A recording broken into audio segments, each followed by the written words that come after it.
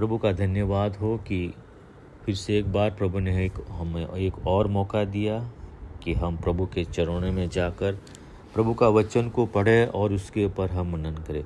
आज हम बाइबल अध्ययन के लिए पढ़ेंगे। पहला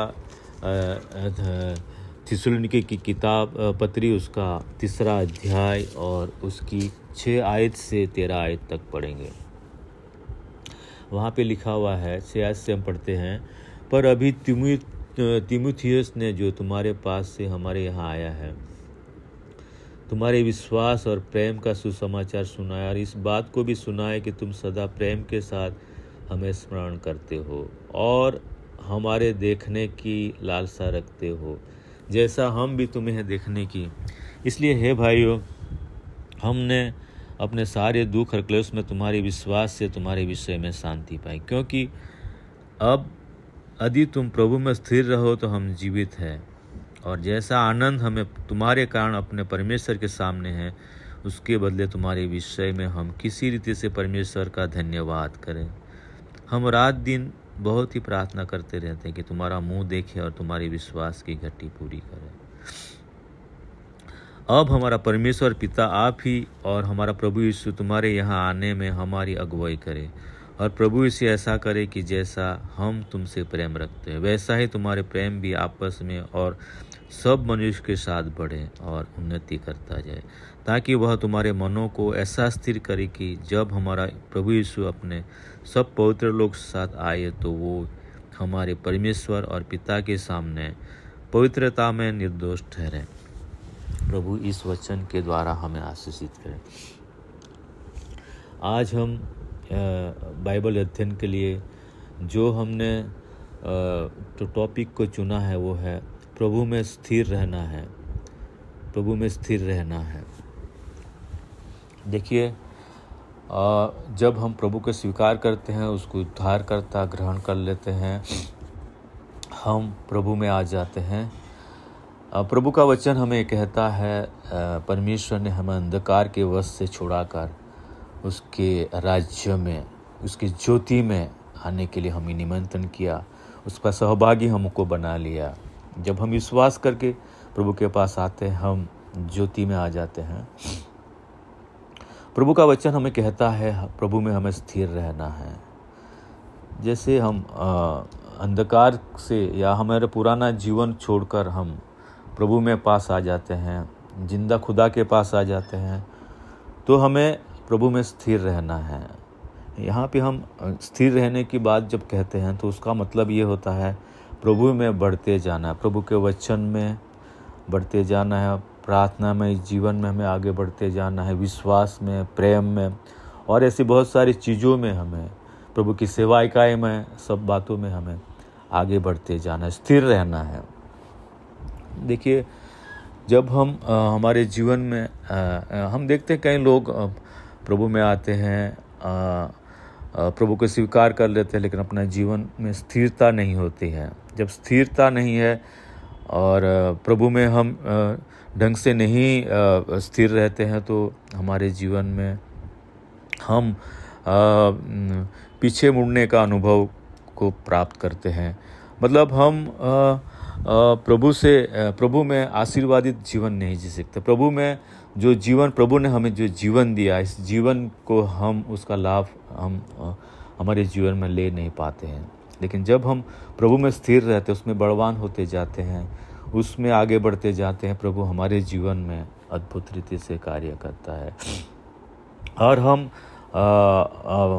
प्रभु के लिए दूसरे लोगों के लिए आशीष का कारण बनते हैं। जब प्रभु में हम स्थिर रहते हैं उसमें बड़वान बनते जाते हैं तो हमारे जीवन आशीषित रहता है और दूसरे के लिए भी हम आशीषित बन जाते हैं।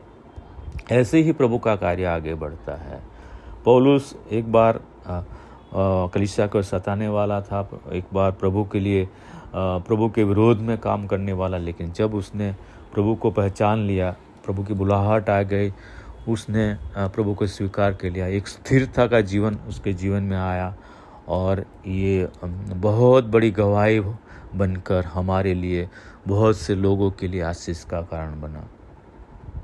प्रभु में स्थिर बनकर, देखिए, हमारे जीवन में जब प्रभु में रहते हैं, जैसे संसार के लोगों को रहता है, वैसे हमारे जीवन में भी परेशानी, दुख, सब कुछ आ सकता है।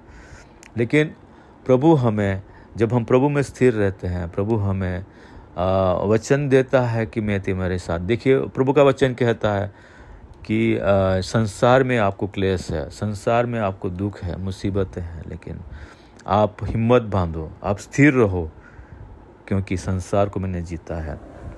देखिए हम प्रभु में रहते हैं तो आ, हम आ, प्रभु की सहभागिता में रहते हैं और सब परमेश्वर हमारे साथ रहता है हमारे जीवन आगे बढ़ने के लिए हमारे जीवन को आशीषित करने के लिए और हमारे द्वारा और बहुत सारे काम परमेश्वर हमारे जीवन के द्वारा करते हैं। जब हम प्रभु में रहते हैं, स्थिर बनकर रहते हैं, प्रभु के लिए कार्य करते हैं, प्रभु हमारे जीवन को आशीष तो करता है, लेकिन और हमारे जीवन के द्वारा और बहुत के लोगों को भी आशीष का कारण हमको बनाता है। और बहुत ही लोगों के लिए हम एक गवाही रूप बन जाते हैं। परमेश्वर के लिए हम गवाही रूप बन जाते हैं। और इस संसार में प्रभु ने हमें इसलिए चुना है कि हम इस संसार के आ, में रहकर प्रभु के लिए गवाही बने। जब हम स्थिरता में चलते हैं प्रभु में बढ़ते रहते हैं प्रभु में जब हम बने रहते हैं हमारे जीवन इस दुनिया के लोगों के लिए एक आशीष का कारण बन सकता है। आज प्रभु का वचन हमें कहता है प्रभु में स्थिर रहो। प्रभु में बलवान बन के जाना, प्रभु में आगे बढ़ते जाना, प्रार्थना में जीवन में, प्रभु की स्तुतिवाद धन्यवाद में, प्रभु के लिए जो सेवा कायम करते हैं, उसके में आगे बढ़ते जाना है। प्रभु में बने रहना है, पवित्रता में और प्रेम में, विश्वास में और बहुत सारी चीज़ों जो है प्रभु हमें कहता है, उसमें आगे बढ़ते जाने से। प्रभु हमारे जीवन को आशीष करता है, दूसरे के लिए आशीष का कारण बनता है। इसलिए प्रभु ने हमें चुन लिया है, इस हमने प्रभु को नहीं चुना, लेकिन परमेश्वर ने हमें बुलाया। प्रभु परमेश्वर ने हम इस दुनिया में हमको चुन लिया और प्रभु का बेटा, बेटी हमको बना लिया है। और जब हम प्रभु में आ जाते हैं, एक ज्योति में आ जाते हैं, परमेश्वर हमारे जीवन के द्वारा ज्योति को प्रकट करता है इस दुनिया के लिए। और हमारे द्वारा परमेश्वर अद्भुत कार्य करता है, हमारे जीवन के द्वारा बहुत से लोग आशीष का कारण बनते हैं।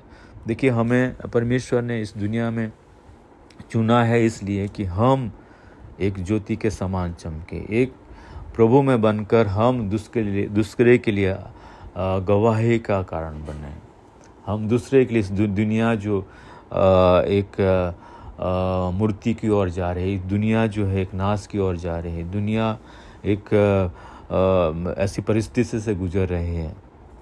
ताकि, लेकिन परमेश्वर ने हमें अपनी ज्योति में बुलाकर, अपने जीवन में बुलाकर, जो अनंत जीवन हमें परमेश्वर ने दिया है, इस जीवन में रहकर हम, जो लोग अंधकार में हैं, जो लोग इस जीवन से दूर है, जो लोग नाश में जा रहे हैं, जो लोग जिसको पता ही नहीं हम कहाँ जा रहे हैं, ऐसा जीवन जीने वाले लोगों के लिए परमेश्वर हमें, हमारे द्वारा कार्य करना चाहता है। इसलिए परमेश्वर ने हमें चुन लिया है।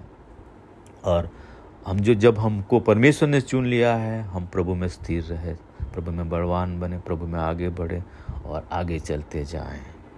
तो प्रभु आज इस वचन के द्वारा हमें संदेश देता है, प्रभु में हम स्थिर रहें, बलवान बनकर प्रेम में आगे बढ़ते जाएँ और और बहुत सारे लोगों के लिए आशीष का कारण बने।